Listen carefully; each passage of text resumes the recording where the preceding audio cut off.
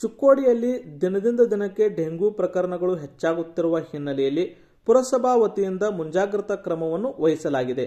ಚುಕ್ಕೋಡಿ ಪಟ್ಟಣದ ward number ಒಂದರಲ್ಲಿ dengue ನಿಯಂತ್ರಣಕ್ಕಾಗಿ ಕ್ರಿಮಿನಾಶಕವನ್ನು ಸಿಂಪಡಿಸುವ ಸಂದರ್ಭದಲ್ಲಿ ಮಾತನಾಡಿದ ಪುರಸಭಾ ಅಧ್ಯಕ್ಷ ಪ್ರವೀಣ್ ಕಾಂಬ್ಳೆ ಹಾಗೂ ಉಪಾಧ್ಯಕ್ಷ ಸಂಜು ಕವಟಿಗಿಮಠ್ ಚುಕ್ಕೋಡಿ ಪಟ್ಟಣದಲ್ಲಿ ಡೆಂಗ್ಯೂ ಹಾಗೂ ಚಿಕನ್ಗುನ್ಯಾ ರೋಗಿಗಳ ಸಂಖ್ಯೆ ಹೆಚ್ಚಾಗುತ್ತಿರುವುದರಿಂದ ಪುರಸಭೆಯಿಂದ ಮುಂಜಾಗ್ರತಾ ಕ್ರಮವಾಗಿ ವಿವಿಧ ಬಡಾವಣೆಗಳಲ್ಲಿ ಕ್ರಿಮಿನಾಶಕವನ್ನು ಸಿಂಪಡಿಸಲಾಗುತ್ತಿದೆ ಎಂದರು. ಸಾರ್ವಜನಿಕರು ಸಹ ತಮ್ಮ ಮನೆಯ ಸುತ್ತಮುತ್ತಲಿನ ಪ್ರದೇಶವನ್ನು ಸ್ವಚ್ಛ ಇಡುವಂತೆ ಮನವಿ ಮಾಡಿಕೊಂಡರು. ಈ ಸಂದರ್ಭದಲ್ಲಿ ಪುರಸಭಾ ಮುಖ್ಯಾಧಿಕಾರಿ ಸುಂದರ್ ರೋಗಿ, ಆರೋಗ್ಯ ನಿರೀಕ್ಷಕ ಜಮಖಂಡಿಕಾರ್ ಪ್ರಕಾಶ್ ವನ್ಮಾನೆ, ಬಾಬು ಮಿರ್ಜೆ ಸೇರಿದಂತೆ ಮುಂತಾದವರು ಉಪಸ್ಥಿತರಿದ್ದರು. ಪುರಸಭೆಯವರು ಈ ಡೆಂಗ್ಯೂ ರೋಗವನ್ನು ಹತ್ತಿಕ್ಕಲು ಸಾಕಷ್ಟು ಕ್ರಮಗಳನ್ನು ನಾವು ಕೈಗೊಳ್ತಾ ಇದ್ದೇವೆ. ಪ್ರತಿಯೊಂದು ವಾರ್ಡ್ಗಳಲ್ಲಿ, ಪ್ರತಿಯೊಂದು ಗಟರ್ಗಳಲ್ಲಿ ಟಿ ಸಿ ಎಲ್ ಪೌಡರ್ ಹಾಗೂ ಥೆಮಾಸಿಸ್ ಪೌಡರ್ಗಳನ್ನ ಮತ್ತು ಮೆಲತಿನನ್ನು ಮಿಕ್ಸ್ ಮಾಡಿ ಗಟರ್ಗಳಲ್ಲಿ ಸಿಂಪಡಿಸುವ ಕಾರ್ಯವನ್ನು ಸ್ಟಾರ್ಟ್ ಮಾಡ್ತಾ ಇದ್ದೀವಿ. ಈಗಾಗಲೇ ಫಾಗಿಂಗ್ ಕಾರ್ಯಕ್ರಮ ಎಲ್ಲ ಕಡೆ ಪ್ರಾರಂಭವಾಗಿದೆ.